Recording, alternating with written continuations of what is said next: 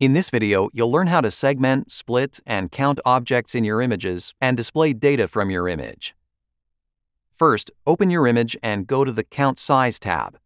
Press the Measurements and Class Reset buttons to clear any old values.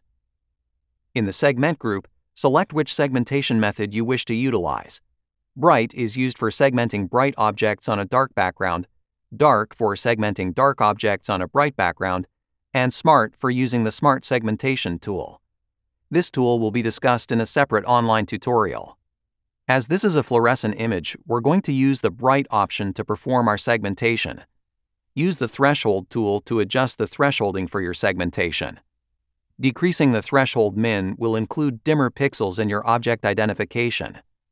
Click on the dropper icon and select a pixel from your image to include that pixel intensity in your segmentation click the plus symbol to add more classes to your dataset. Click on the Types drop-down menu to select which measurement values you want included in your dataset.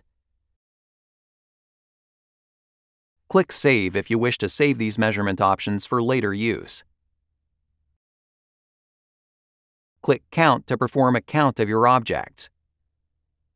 If you have objects that need to be split, for example two touching cells, you can use the Split tool to enable splitting.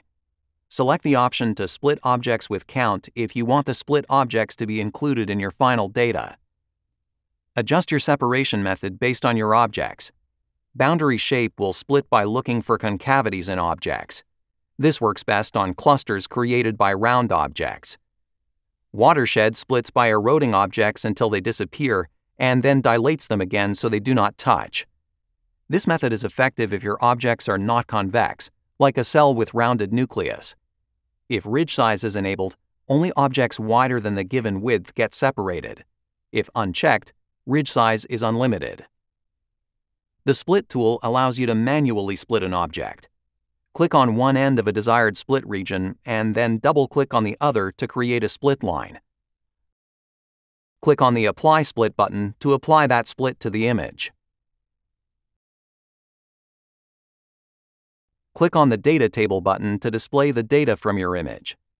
The data presented is based on the measurement type selected in the Types menu. Clicking Statistics will display statistical information of all objects in the entire image. The Excel button will export data presented in the data table to Excel software.